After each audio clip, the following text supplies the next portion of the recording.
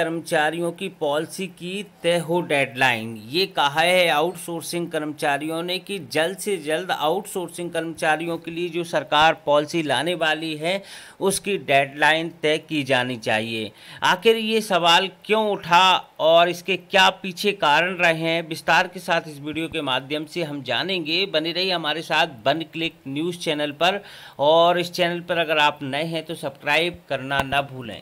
ये दोस्तों न्यूज़ है हिमाचल प्रदेश से और हिमाचल प्रदेश में काफ़ी कुछ महीने पहले से आउटसोर्सिंग कर्मचारियों की पॉलिसी को लेकर प्रयास चल रहे हैं। सरकार ने काफ़ी कुछ मीटिंग भी की और जल शक्ति मंत्री महेंद्र सिंह को आउटसोर्सिंग कर्मचारी की पॉलिसी को लेकर एक कमेटी बनाई, उसका अध्यक्ष इनको बनाया।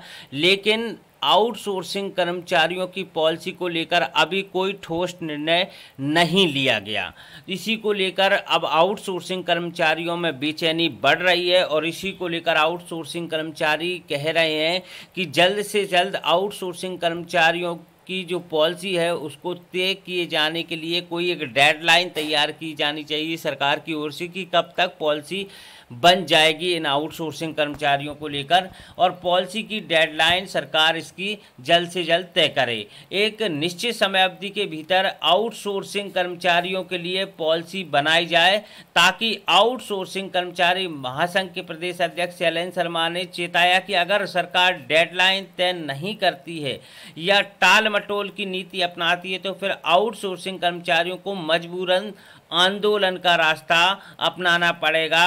उनका कहना है कि महासंघ द्वारा कई बार अंतिम तिथि बताने की बात बोली गई है, किंतु कैबिनेट सब कमेटी के सदस्यों की बैठक और निर्णय के बिना सरकार कोई भी तारीख अभी नहीं दे पाई है।